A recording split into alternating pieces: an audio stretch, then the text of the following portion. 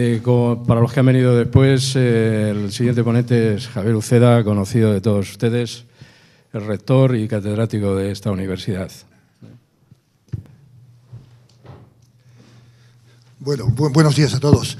Lo primero, agradecer a, al vicerrectorado y a mi buen amigo Emilio que me haya invitado a participar en, este, en esta jornada sobre un asunto que es un asunto relativamente joven, reciente, puesto que la mayor parte de las cosas que se ha contado, ha contado hace un momento Edmundo Tobar y algunas de las que voy a volver a contar yo en mi presentación han ocurrido en el último año. De manera que no estamos hablando de un movimiento que lleva una década construyéndose, sino de algo que se ha producido primero con una gran celeridad. Hay un proceso de aceleración en el proceso eh, enorme. Y como les digo, lo he seguido con interés, con atención, y lo único que voy a hacer es presentar algunas de mis reflexiones a la vista justamente de estos hechos, eh, lanzar algunas preguntas. Seguramente todas las instituciones, también esta universidad, debe intentar dar respuesta a algunas de esas preguntas, porque en última instancia están produciendo o están perturbando, yo creo, en estos momentos, buena parte de estas iniciativas están perturbando la educación superior en el mundo y están generando una cierta incertidumbre respecto de qué va a ocurrir en una década. No es ya tanto lo que está ocurriendo en estos momentos, sino dónde vamos a estar en una década y dónde va a estar cada uno en ese nuevo contexto eh, dentro de diez años. Y en ese debate es en el que conviene profundizar sin perder mucho tiempo, puesto que si esto ha ocurrido en un año, no sé qué ocurrirá en un par de ellos más. No, sé yo ahora mismo anticipar qué va a ocurrir. Eh, por otra parte, me van a permitir que, eh, o me vais a permitir que haga una presentación que repita algunas de las cosas que ha planteado Edmundo Tobar, pero las voy a plantear con un enfoque un poco diferente. Eh, él, en el momento cuando estuvimos hablando de cómo organizar el tema, es verdad que yo creía que él iba a centrarse mucho más en el contraste con OpenCourseware y un poco el salto que supone pasar de, disponer de materiales en abierto a ofrecer cursos en abierto en el formato que se han descrito y por lo tanto algunos datos los voy a repetir y, os ruego que me perdonéis, pero intento darle un enfoque claramente distinto. Mi enfoque no es nada académico en el sentido de analizar las alternativas, los modelos, sino intentar ver algunos de los acontecimientos que se han producido, cómo están impactando sobre el conjunto de la educación superior en el mundo desde una perspectiva naturalmente personal y que, bueno, pretendo compartir con todos vosotros y someterla al debate y al propio análisis, puesto que hay muchas preguntas sin respuesta. En estos momentos hay muchas preguntas sin respuesta, algunas sobre el modelo de negocio, de que también me gustaría a mí particularmente hablar. Entonces, en ese contexto, voy a volver a redefinir lo que yo entiendo que son esos eh, cursos masivos online en abierto. Y quiero empezar diciendo que la palabra clave no es ni online ni es abierto. La palabra clave es masivos. Ese es el punto diferencial respecto de montones de iniciativas existentes durante décadas. La clave está en que son masivos. Y esto, el cambio de dimensión, introduce elementos diferentes a los que veníamos manejando cuando esa misma oferta se hace con números muy reducidos. Si no fueran masivos, muchas de las cosas que hoy se nos plantean no tendrían ningún sentido. Y por tanto, esa parte de la definición, en mi opinión, es la parte esencial. Es verdad que estos cursos surgen de una manera conceptual, en un debate con un planteamiento más colaborativo, en donde unos y otros podíamos contribuir a hacer que un curso fuera cada vez mejor y además fuera utilizable por la gente en el mundo de manera gratuita y masiva, pero ese concepto, que es un concepto que venía constituyéndose en el tiempo, se ha transformado en estos momentos con las iniciativas de algunas de las universidades o de algunas de las empresas eh, que han lanzado algunas de estas propuestas en el mundo. De todas maneras, conviene tener eh, alguna idea de contexto en el, mundo de la educación superior y he puesto algunas pinceladas. La primera es que la educación superior se está convirtiendo cada vez más, no digo que lo sea, pero cada vez más en una actividad global. ¿Qué quiere decir esto? Hoy, especialmente en el posgrado, la gente se plantea estudiar el posgrado no en cuál de las universidades cerca de casa, sino que seguramente el planteamiento es cada vez más abierto.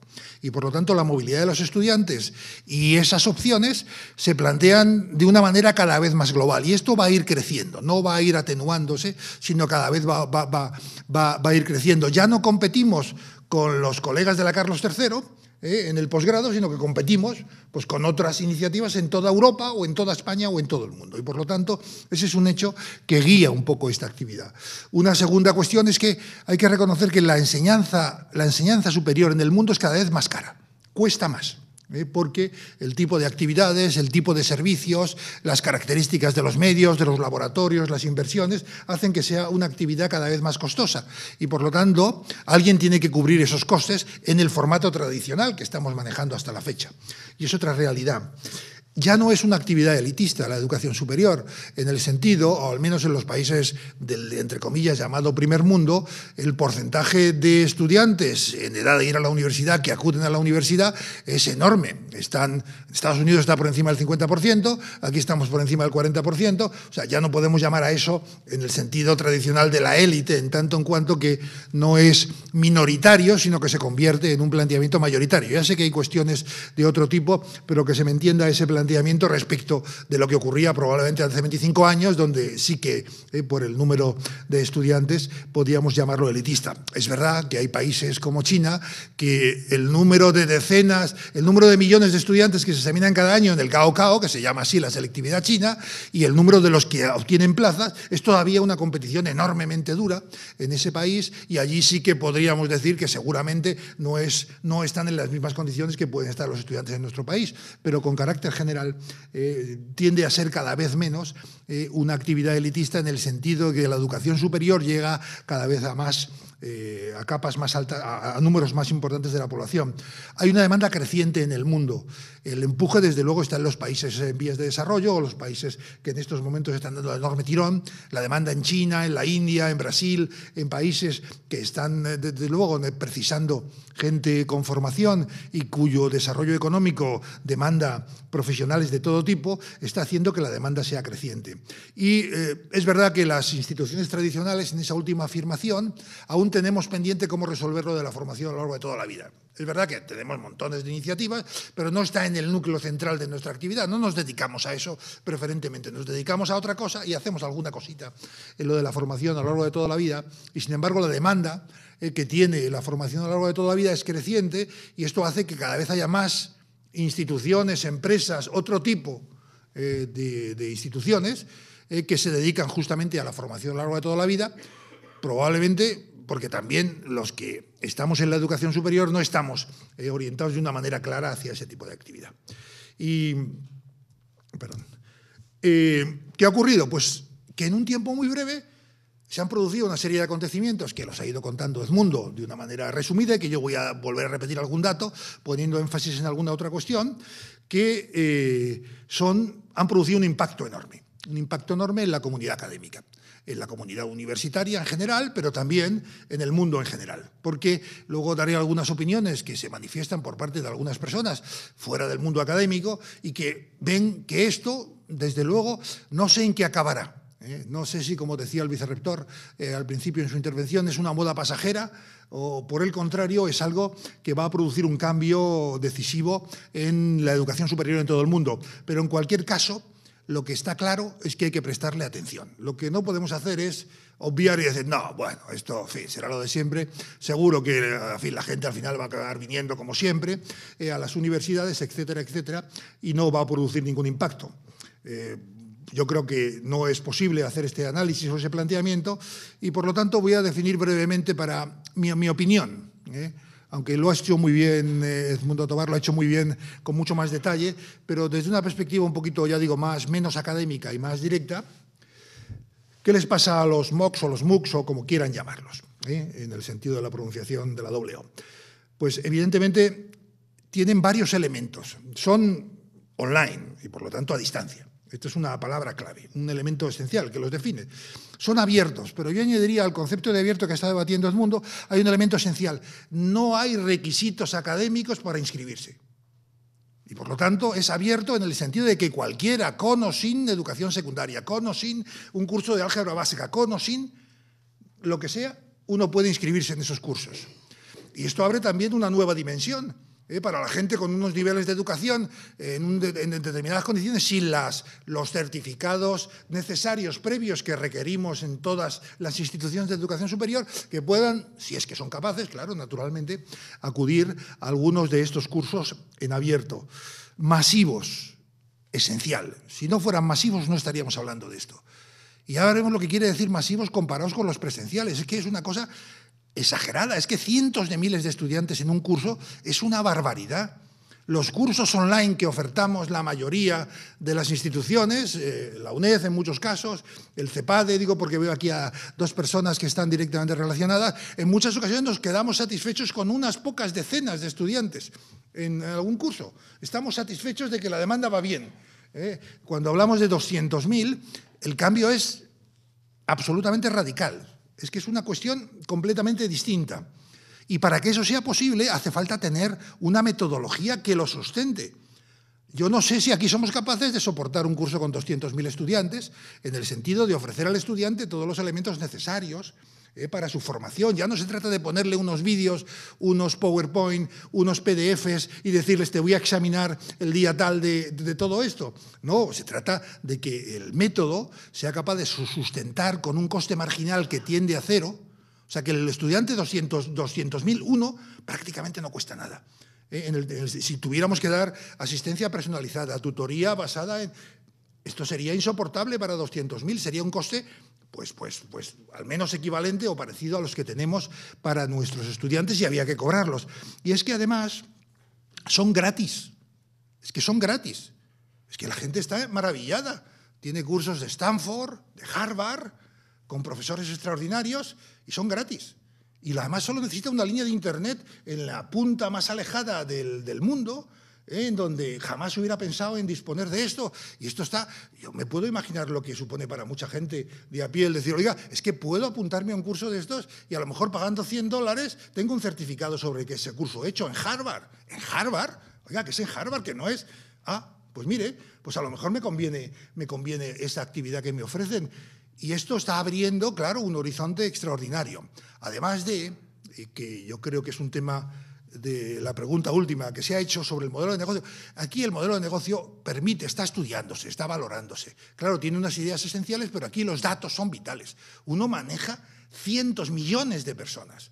Es un negocio tipo Google. Google nos da un montón de servicios y gratis. ¿Ustedes creen que Google no gana dinero? Tiene detrás un modelo de negocio que naturalmente, si no fuera masivo, no habría negocio. Y desde la publicidad, la venta adicional, el headhunting, uno puede captar talento en donde se encuentre a través de algún mecanismo basado en la percepción de lo que hacen los estudiantes. Es decir, hay tantos elementos que pueden hacer atractivo el, disponer de ese número enorme de datos, eh, de personas con las que uno trata, que también que enorme interés, desde luego, tienen que tener una, tienen que ser muy, muy, muy automáticos por decirlo de alguna manera, con una, pequeñísima, mucho trabajo de preparación, pero poco trabajo en, la, en, el desarrollo del curso, porque sería, ya digo, imposible un coste fijo, el que sea, pero un coste variable por estudiante que prácticamente se tienda a cero, o sea, mínimo, muy pequeño. Además, hoy, como saben algunas personas de la sala mucho mejor que yo, el coste de la infraestructura necesaria para poner en marcha todo esto, digamos los servidores, las máquinas, etcétera, hoy uno lo, lo, lo alquila no tiene más que ir a Amazon o ir a donde sea y ya está. No tiene que tener ni montar, alquilar un edificio, montar los servidores. No, esto es una cosa que puede hacer con cierta facilidad prácticamente sin, disponer físicamente de los recursos, claro, pagando por esos servicios. Y por lo tanto es un elemento clave. Y además, los estudiantes no tienen por qué estar a tiempo completo. Y por lo tanto son estudiantes que están haciendo otras cosas. Y miren lo que supone esto en la formación a lo largo de toda la vida o las cuestiones de la formación profesional en las empresas. Si yo soy empresario y necesito formar a mi gente en no sé qué técnica de programación y hay unos cursos, y además son gratis y además son buenos, es que me lo están poniendo a, capón. Es que, ¿qué voy a hacer? Eh, pues utilizarlo. Y por lo tanto, eso es por lo que, eh, eh, se ha descubierto, se ha detectado de una manera sorprendente. Este, se daba el dato del curso de inteligencia artificial de Stanford, que es el origen. Son dos profesores, Sebastian Thorne y Peter Norvin. De repente hacen esto como un experimento, pero es que lo hacen sin saber a lo que se dan cuenta. Y de repente lo ofrecen y se les apuntan 160.000. Dicen, madre mía, ¿pero qué tenemos aquí? Este hombre le da, le da, le da algo y, se va de Stanford a la vista del asunto y monta Coursera y está ahí detrás de esa actividad, porque dice, que aquí esto es una barbaridad, esto es una barbaridad. Y eh, el 14% acaban haciendo el curso, pero calculen el 14% de 160.000. Si les doy otro dato, eh, que es el famoso curso también de, de, Electronic Circuits and Electronics, el que también se refería Edmundo Tobar, efectivamente 150.000. Acabaron 23.000. Ese curso, el mismo curso, lo da Stanford en dos semestres, digo, perdón, MIT en dos semestres y en total cada año tienen 175 estudiantes que lo superan. ¿Saben cuántos años hacen falta para conseguir 23.000 personas formadas? Si es que es verdad que la formación, esto es una cuestión, cuestión mark, ¿eh? una pregunta, si la formación que reciben los que hacen el curso es equivalente a la que tienen los que están presencial, necesitamos más de 100 años ¿eh? para conseguir formar a, esa misma, a ese mismo grupo en los mismos términos. Más de 100 años. Bueno, ¿de qué estamos hablando? Algo está pasando, ¿eh? algo está pasando. Si eso es posible, pasar de 175 a 23.000 con una inversión, en el fondo, bastante pequeña, es que algún elemento nuevo está ocurriendo. Y ya digo, no solo eh, el, tema además ofrece otras, otras perspectivas, como, les como decía. En el modelo de negocio caben otros, otros elementos que no son directamente el cobro de la matrícula por la certificación. Ese podría ser el primero, pero aparecen un montón de, digamos, de elementos adicionales en el entorno. Y ahí es donde está jugando todo el mundo. ¿eh? Está jugando todo el mundo. Es un formato muy adecuado, como decía antes, para la formación en compañía o para la formación profesional. Y me, refiero, me refiero a formación de tipo profesional, no como entendemos aquí el término formación profesional en ocasiones. ¿no? Y eh, además tiene una ventaja que a mí me parece también que no hay que olvidar. Es decir, uno puede combinar saberes de instituciones en un, en un, determinado curso. Por ejemplo, si uno ofertara un paquete eh, de, formación y necesitara, y necesitara la UPM dar un curso en chino mandarín, pues seguramente lo mejor que podría hacer es contactar con alguien en, China para que nos, nos metieran el paquete el curso de chino mandarín y no darlo nosotros con nuestros recursos o por decir esto en cualquier otra combinación de todo tipo. De manera que cuando uno precisa al no tener, al ser online, y la capacidad de combinación que permite, hay, hay posibilidades que se abren que desde luego tienen un enorme interés y que están, que están, están haciéndonos reflexionar a muchos, al menos. Es una actividad tipo Google, eh, permítanme la expresión. Es una actividad donde el tema masivo es lo que está ocurriendo, que es lo que en su momento, cuando Open, OpenCourseware se lanza como iniciativa, bueno, es una iniciativa tímida del, MIT, una institución, es verdad, con mucho prestigio, si lo hubiera hecho otro probablemente las cosas hubieran sido distintas, pero el, efecto, el impacto que ha tenido en estos momentos, o por lo menos para los que somos conscientes de que existe, es que yo cada vez que necesito un material de clase, en vez de andar, pues voy a ver qué hay, por si acaso, es que hago así. Y, y, bueno, y tengo el programa, los problemas de clase, los no sé qué, etcétera, etcétera, de una manera directa y si lo hago yo lo puede hacer cualquiera y por lo tanto que el conocimiento crece en la medida en que se comparte se convierte en una realidad. Pues esto todavía da un paso más. Y eh, son los MOOCs o los MOOCs unos cursos que son masivos. Tienen que plataformas técnicas y metodologías capaces de manejar a miles de estudiantes. Y eso hay que desarrollarlo, si no se dispone de ellas no existe. Son gratuitos, son abiertos, insisto que es una novedad, en tanto en cuanto no precisan requisitos académicos, porque hoy si uno se quiere matricular en la UNED, en un curso o en otro, el requisito académico forma parte de una condición indispensable. Y están organizados, y esto es otro elemento, todas estas iniciativas que nos están generando tanta preocupación, es porque disponen de la reputación detrás. Si lo hicieran otras universidades esto mismo, puedo asegurarles que la reflexión sería distinta, pero es que están los que, entre comillas, aparecen como las mejores en todo el mundo. Son básicamente de tipo norteamericano, pero algunas europeas empiezan a sumarse a ese movimiento. Pocas todavía, pero en ello estamos. Hay algunos que dicen cosas como eh, John Hennessy, el tsunami is coming. Es decir, algo, va, a llevarse por delante algunas cosas. Y ojo, que no te pille por el medio. El secretario de Educación de los Estados Unidos, William Pellet, también dice que es una revolución, es una renaissance, un renacimiento del tipo, del tipo ateniense. Y también porque existe en estos momentos, sobre todo en el mundo norteamericano, que es donde, donde ha producido todo esto, una crítica bastante notable respecto del papel que juegan las instituciones tradicionales de formación y el papel que, tienen sobre eh, los estudiantes cuando se gradúan. Eh, de manera que hay muchas personas que piensan que, no compensa, o sea, que no es nada evidente que la formación compensa los costes. Allí es verdad que los costes son en, muchos casos muy elevados, mucho más elevados que en Europa y por lo tanto el pensamiento varía desde esa perspectiva, pero esto se está produciendo. El 60% de los americanos que piensan que las universidades están fracasando en proporcionar a los estudios, a sus estudiantes, con un valor añadido, eh, eh, digamos, que compense el dinero eh, que esas familias gastan. Ya saben que los Estados Unidos, una de las cosas, nosotros aquí tenemos hipotecas, ellos tienen hipotecas y los préstamos de la universidad, ¿no? como, elementos eh, tradicionales de deuda. Y esto a su vez está provocando también alguna reacción con, en relación con estos movimientos en la educación superior. ¿Qué más cosas están pasando? Pues mire, les citaba a Google. Google acaba de lanzar en septiembre, esto es de hace nada, estoy hablando de septiembre de 2012, empieza a ofrecer una herramienta Course Builder que permite eh, ir o está pensando en este tipo de cursos para, y seguro que mis colegas que están en esto se lo sabrán mucho mejor que yo y podrán explicarles lo que, lo que puede y lo que no puede hacer. De manera que eh, va a empezar a pasar lo que pasa con algunas de las herramientas de Google, que incluso hay veces que a nivel individual va, algún profesor va a poder hacer cosas sin casi contar con la institución, por decirlo de alguna manera, en el sentido de abrir, hacer la oferta con muy pocos elementos, porque va a ser cada vez eh, más sencillo. Y por tanto también ahí hay movimientos de algunas compañías, y no solamente Google, sino otros, que están buscando tener un papel que jugar en estas plataformas que se están diseñando.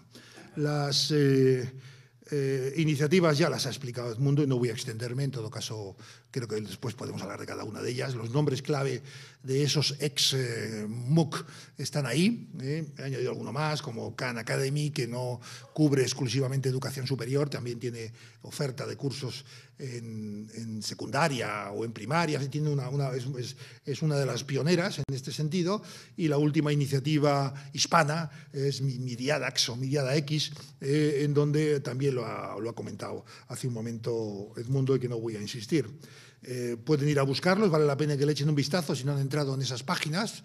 Eh, esta es la de Coursera, pero me interesa más que vean algunas de las universidades. he señalado que está, por ejemplo, la EPFL, la École Polytechnique Federal de Lausanne, está ya en, en, Coursera, es una de las europeas que está en, ese, en, ese, en, ese, grupo que va creciendo. Hace un momento decía, yo cuando hice esta esta, hace un par de meses hice esta, ahora me decías 40 o no sé si son más universidades del mundo, bueno, las que sean.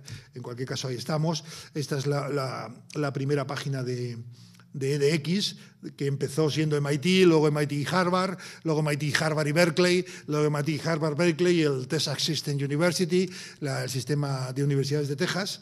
Eh, en estos momentos, esta plataforma en particular, por ejemplo, ya ha resuelto el tema de, los exámenes presenciales. ofrece desde hace un par de meses también, con una empresa eh, que tiene sedes en todo el mundo, en no sé cuántos países, no recuerdo el número, en ciento y no sé cuántos países, la posibilidad de ir a hacer los exámenes, las pruebas de evaluación para certificar presencialmente eh, los cursos que, que, ofrecen, ¿eh? de manera que en ello están resolviendo algunas de esas cuestiones. Esto es Udacity, que tiene un planteamiento un poco distinto, son cursos individuales y los nombres de las instituciones detrás. Eh, Khan Academy, no voy a ir más que pasando las fotos. Algunos cursos, tal y como aparecen, he elegido, en su día elegí los que me tocaban, porque no sé si saben, pero soy catedrático de tecnología electrónica y la electrónica era mi disciplina y vi que había como oferta y me encontré con algunos de estos cursos que también tienen que dar respuesta a una pregunta clave. ¿Todas las enseñanzas son, es posible eh, ofertarlas con calidad online? Es una pregunta, digamos, cuando tiene una componente práctica, instrumental, seria, bueno, pues es un debate que también hay que hacer. La electrónica forma parte de ellas. y algunos de los cursos que en estos momentos en Coursera, por ejemplo, se están ofreciendo, o este que se oferta en Udacity, que es Functional Hardware Verification, uno de los temas esenciales en el diseño de circuitos integrados, o alguna iniciativa en España, Unimoc, un curso sobre emprendimiento, como se quiera denominar, sobre emprendedores, formación de emprendedores, que algunas instituciones que están arriba reflejadas, pues han participado en una de las primeras experiencias, también la UNED, eh, y como un elemento más, o esta red eh, latinoamericana que también pretende estar en ese juego y tiene una oferta modesta en estos momentos y que ha pretendido tener ahí eh, alguna actuación en relación con el tema o Miriada X, que es la que citaba también Edmundo hace un momento, en el donde con la misma transparencia ahí está la participación que tiene la Politécnica de Madrid en esos temas. Preguntas. Y con esto termino para no extenderme y en todo caso dejar tiempo para el debate. Primero, ¿es esto una amenaza para la actividad que desarrollamos en las universidades presenciales o es una oportunidad?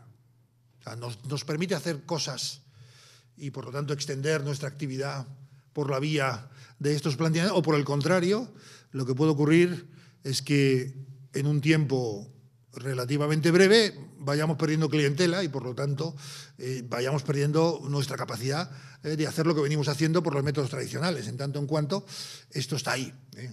En segundo lugar, hay que dar una respuesta. ¿Podemos, podemos no hablar de esto? ¿Eh? Yo creo que no. Yo creo que, hay una obligación institucional de reflexionar sobre ello y tomar algunas decisiones e iniciar algunos planteamientos. Yo me consta que en estos momentos pues esa reflexión está en marcha por parte del equipo de gobierno de la universidad y me alegro de que se esté planteando como uno de los elementos, bueno, al menos estratégicos de futuro a considerar.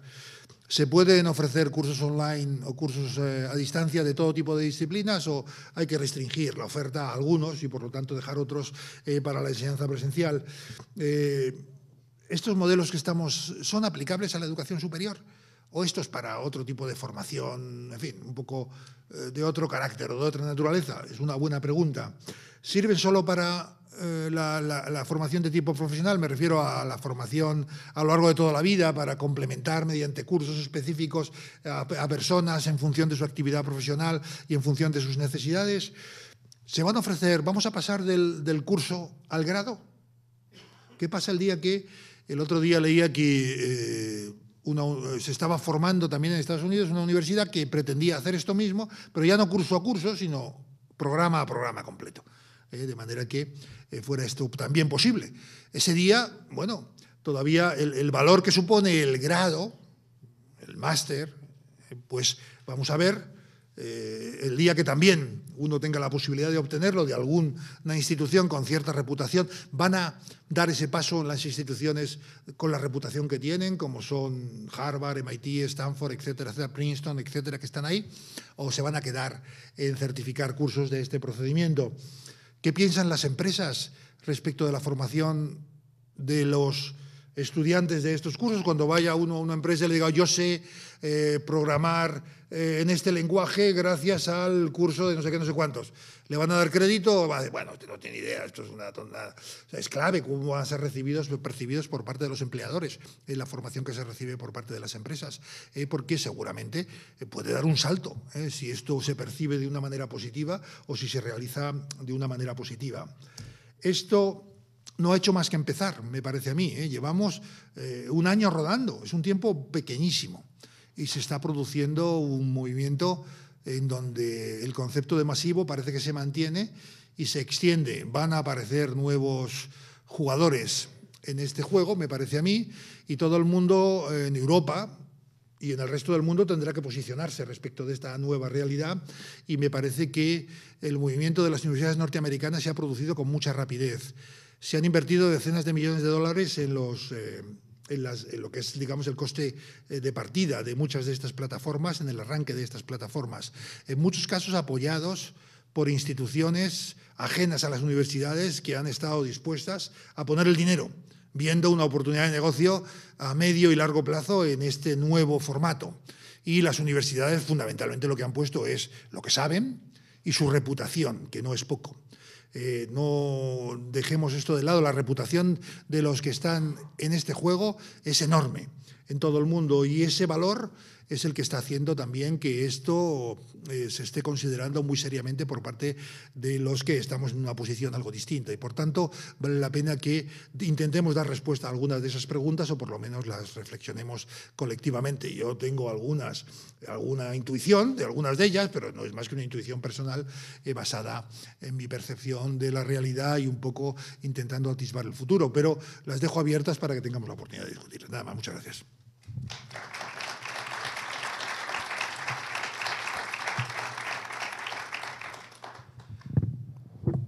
Gracias, Javier, por esa presentación tan poco académica, como has dicho, pero muy intensa, eh, sobre todo las preguntas, eh, a la cual creo que solamente le falta una. ¿Qué piensan las agencias de acreditación en todo esto? Y sobre todo en Estados Unidos, ABIT y todo esto, si se han pronunciado de alguna manera. No sé si alguna pregunta la tendrá después o alguna respuesta Manuel Castro después. Todavía no acreditan grados y por lo tanto como estas agencias suelen acreditar eh, grados, pues no hay, no hay ese problema, no se ha planteado el mm. problema, pero seguro que estarán en ello. Otra cosa es que la realidad desborde, ¿eh? que tengas cientos de miles o millones de graduados sin acreditar, pero las empresas admitiéndoles. Ya. Eh, tenemos tiempo para, de momento, una pregunta. Vamos a hacer un pequeño descanso, tomar un café autofinanciado por cada uno. Es un café real, pero virtual en el sentido de invitación. ¿Eh? ¿Alguna pregunta? Sí, Javier Carrasco.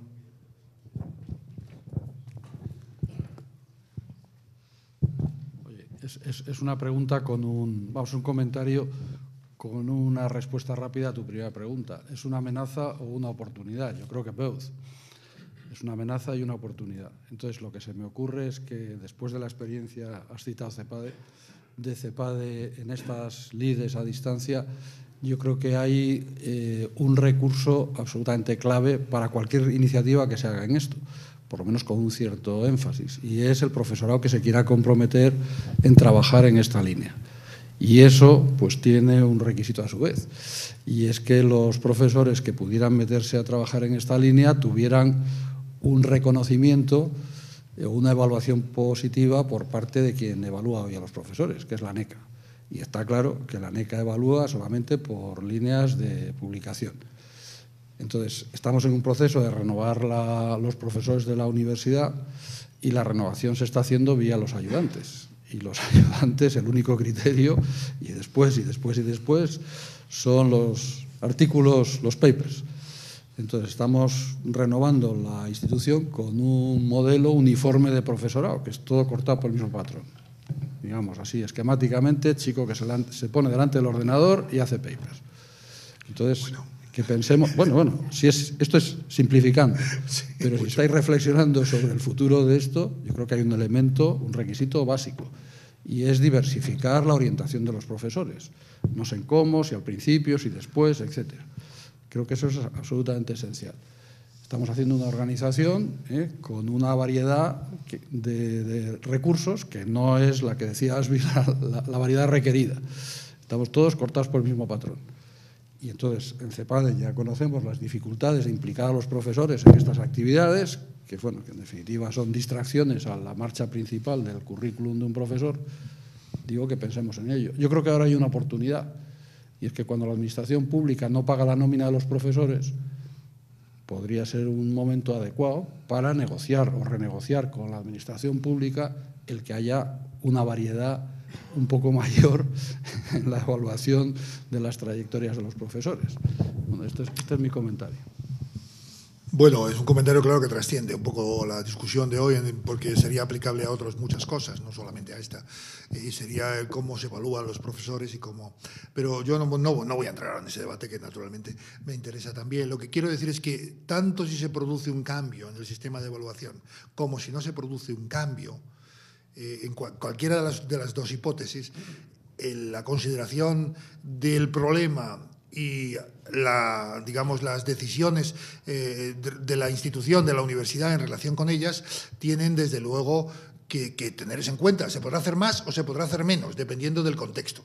de las circunstancias. Pero que en cualquier caso lo que no podemos es decir, no, no, como no tenemos, a lo mejor no podemos, pero desde luego como mínimo eh, yo creo que eh, esto es imprescindible. Por otro lado también pienso que si esto es, si los modelos de negocio que hay detrás de estas actividades son eh, rentables desde alguna perspectiva, no digo únicamente desde la perspectiva económica, no me capa ninguna duda que esto permitirá su desarrollo, ¿eh? porque hay al contrario, si son ruinosos, eh, pues eh, en fin, veré muchas dificultades para que la gente dedique su tiempo y sus esfuerzos a una actividad que genera, que da, problemas desde el punto de vista de la rentabilidad, ya digo, no solo económica, algún tipo de rentabilidad hay que evaluar como es, como es natural, puede alguna parte de la rentabilidad ir por la vía de la que mencionabas. Dicho esto, bien, de acuerdo, pero aún así, aunque no seamos capaces de resolver el problema que planteas, yo creo que hay que seguir eh, viendo cómo nos acoplamos en este mundo y cómo atenuamos las amenazas y cómo nos aprovechamos de las oportunidades.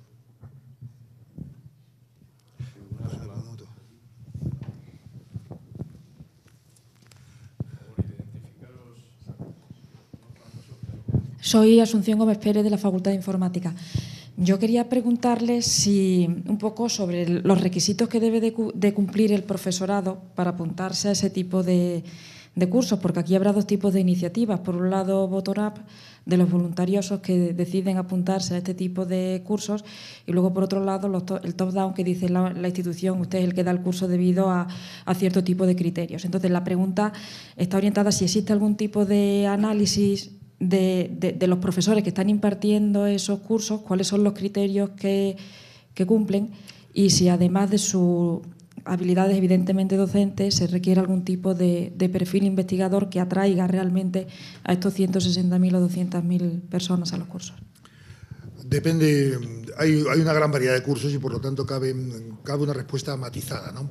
Pero en términos generales se está buscando eh, encajar a los mejores profesores desde el punto de vista de, la, de, su desempeño, digamos, a lo largo de la vida académica. Aquellos que están reconocidos como los mejores en sus disciplinas, tienen una gran reputación en sus disciplinas, están, eh, están apareciendo o están siendo los que eh, aparecen como reclamos en esos cursos. Es verdad que en algunos casos un gran nombre procedente de la investigación puede producirse también o puede ser un gran reclamo para algunos pero en cualquier caso, si uno entra en, muchos de estos cursos, buena parte de los que iniciaron este tipo de actividad ¿eh? pues son aquellos profesores que tienen un desempeño en el sentido tradicional del profesorado pues de muy, bueno y por lo tanto hacen atractivo eh, sus clases, hacen motivan al que escucha, eh, cuando uno escucha uno de sus vídeos tiene ganas de seguir escuchándoles y no tiene ganas de decir, a ver si acaba ya la hora este, porque en fin, este tipo de cosas y por lo tanto este es el perfil más, más habitual.